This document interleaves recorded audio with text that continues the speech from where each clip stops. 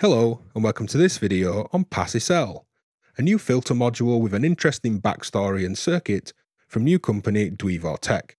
Before we get into it, let's check out what's to come.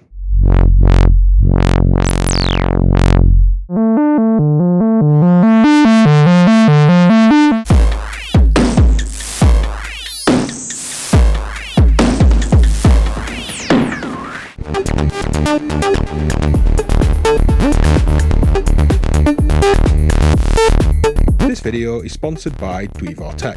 Now up front, I'll apologise for butchering the Welsh language here, but Pas-Isel literally means low pass in the Welsh language.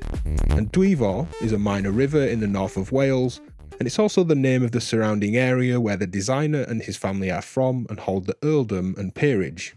Now, minor Welsh lesson aside, this filter has an interesting backstory in its development and the circuitry used.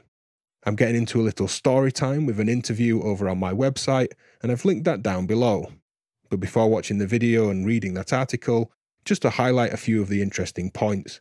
The filter design was inspired by an article that stated the Buchla 191 was a fairly ignorable filter design, and while they use the 191 as the core circuit idea here, they've added the diode ring design from the Korg MS50, which gave them the resonance path and a guitar pedal style soft clipping overdrive. Each filter pole in Pas-Isel is actually a high shelf EQ, and not typically a low pass, but with four of them in feedback loops around op amps, you're getting around minus 120 dB of high frequency roll off. So, for all intents and purposes, this is a low pass filter. Now, quickly running down the features, this is an 8HP module. We have an input with gain control and plenty of gain on tap, main controls for filter frequency and filter resonance. We have two CV inputs that sum together to modulate the filter frequency. The bottom one will track volt per octave, and the top one features an attenuator to scale that level of modulation. The output is inverted against the input, which is a deliberate design decision so that you can run this back through a VCA and create your own voltage controlled resonance paths. So let's hear some filter sweeps with this around unity gain with the mini pot just under half for input level. No resonance.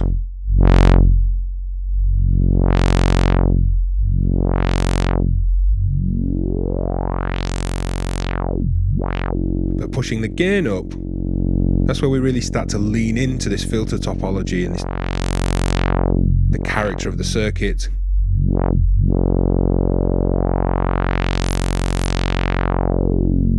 And it's got a kind of thick woolly jumper vibe about it that's different from some other filter saturation stages I've heard before.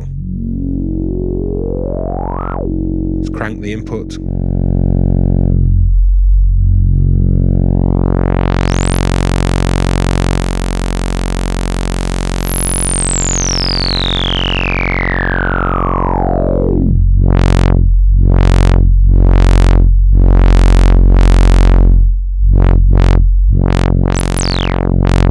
Big bulbous sound.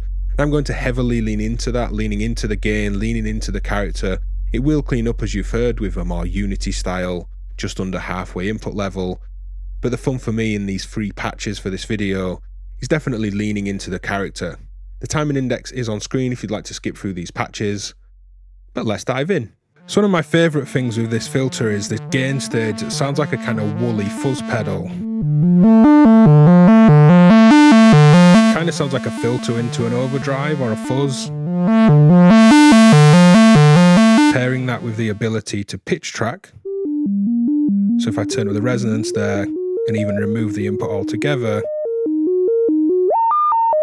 have my pitch sequence coming in. That's making the filter track pitch. Dialing back the resonance, but setting a really strong resonant peak. You can hear it static. The filter isn't moving, but the oscillator feeding it is. But adding the pitch tracking, you can get a tone that stays consistent across your pitch ranges. And then add some additional modulation, in this case, this envelope. And then really push that gain for a consistent, fuzzy, saturated tone.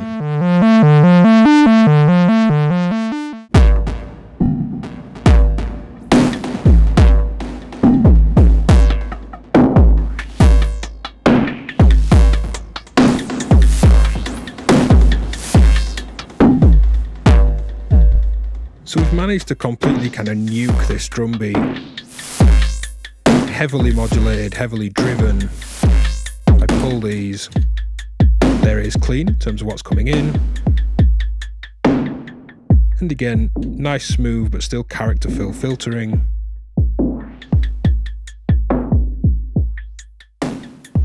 Simply slamming that gain up full. Loads of distortion on tap.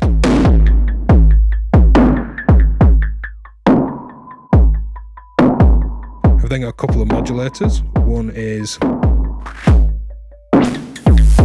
a noise signal that rises and falls back into the start of the beat. It's as if it's just mixing into the audio path as opposed to CV modulating the cutoff.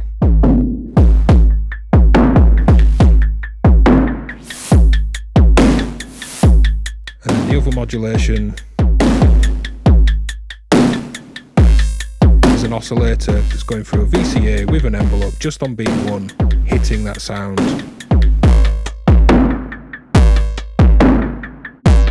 We can just inject that modulation on one step in the beat. adding the noise back in,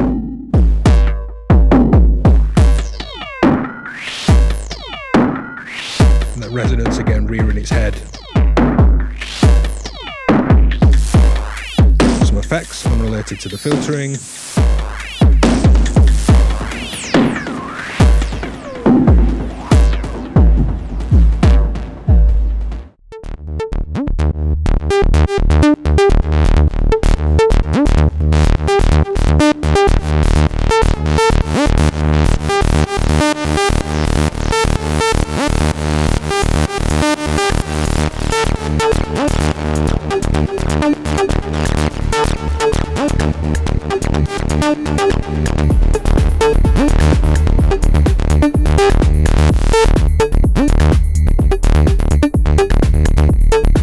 Here we've got this big rich mix of waveforms with a saw wave, a sub and some noise, and plenty of modulation into the Pas-Isel. Let's check out what's going on. So here's the oscillator sequenced, it's the UDCO here, straight into Pas-Isel. You can hear we've got this sub and noise.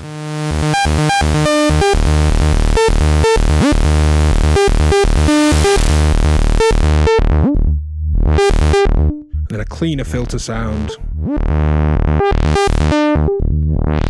You can add a lot of character to with the resonance. Adding this green trace here, this envelope coming through the attenuator.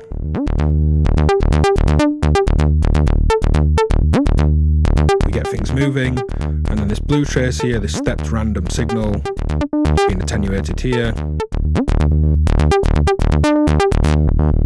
Without the envelope, you can hear that filter dancing around. And then finally, mixed in here, we have an audio rate signal from this oscillator, giving all that crunchy, robotic kind of overtone. And the rest is all kind of just set dressing with some drums, some reverb that's on this send here, feeding from everything that's going on in the mix and there's some sidechain on a different channel, making the filter output pump. So with drums and effects.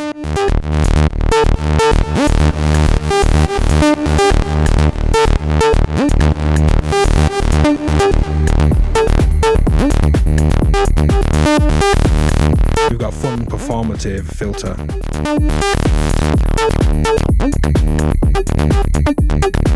So if you've got this far in the video, go drop a hard sync in the comments.